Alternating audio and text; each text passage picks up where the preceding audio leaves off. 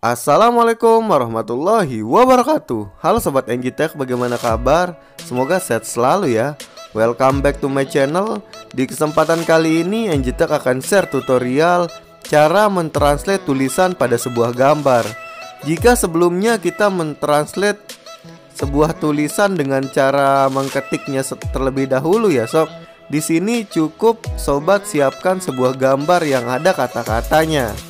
Dan lebih kerennya lagi dia support multibahasa ya sob. Tanpa panjang lebar kita langsung saja ke caranya sob. Yang pertama sobat download terlebih dahulu aplikasi di Play Store namanya Google Lens. Di sini kita menggunakan jaringan internet ya sob untuk mentranslate bahasanya dan ini adalah tampilan utama dari aplikasi Google Lens ya sob Sobat langsung masuk ke terjemahan Sekarang kita akan siapkan sebuah gambar yang akan kita translate sob. Saya sudah siapkan sebuah gambar. Di sini sobat bisa lihat. Dan dia otomatis mendeteksi bahasanya ya sob. Di sini sobat bisa lihat di atas ini bahasa Jepang ditranslate ke bahasa Indonesia. Sobat bisa lihat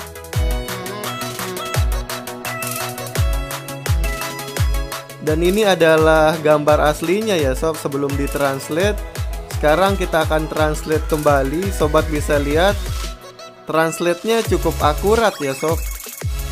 Saya biasa menggunakan teknik ini sebelum membeli barang ya sob Untuk membaca spesifikasi dan deskripsi pada sebuah produk. Silahkan sobat praktikan di rumah. Caranya cukup simpel sekali.